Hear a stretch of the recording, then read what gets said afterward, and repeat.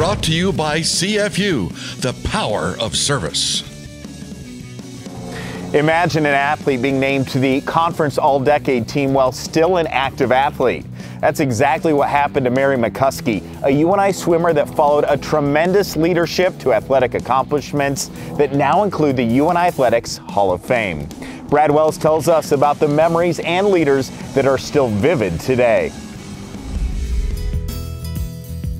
My grandfather, I actually was at this banquet, but over in, was it Campbell Hall or one of the older dorms in 1985. I was sitting as a 14 um, year old watching my grandfather get inducted into the UNI Hall of Fame as he was a wrestling coach.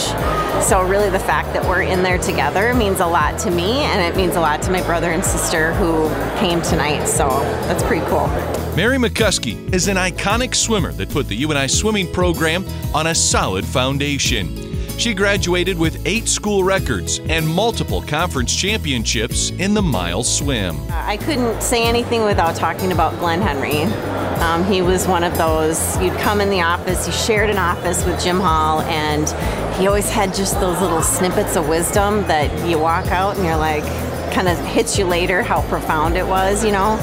Um, and he really believed in me and I felt that and I wanted to perform for him. You know what I'm saying? Like I wanted to perform for him and make him proud too. So he was a huge part of it. And then Coach Hall, I mean, what do I say? He was just really able to um, bring out the best in me. I came to college and um, I had lost my dad when I was 14 and so there's just a number of people in my life that were kind of like just making sure I was on the right road, and he was definitely, definitely one of them. So, and he worked our butts off.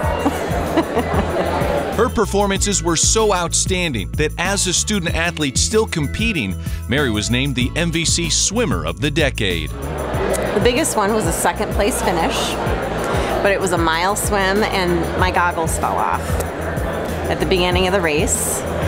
And I was like, oh, well, that's it.